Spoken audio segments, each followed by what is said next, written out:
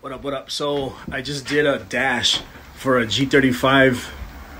Wanted something different, so the red base off a military.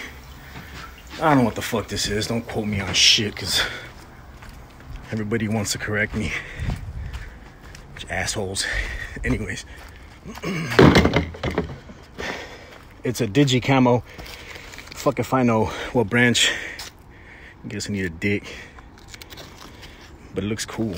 Here you go. Fuck.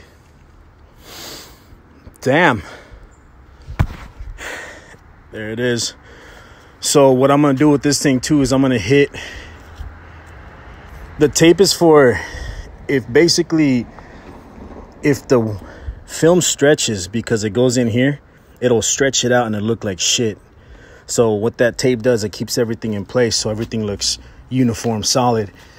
So it's a red base, more of a candy. And what I'm gonna do on top is I'm gonna hit more red to make this thing even redder. So this is like a digi camo red dash. So fucking different.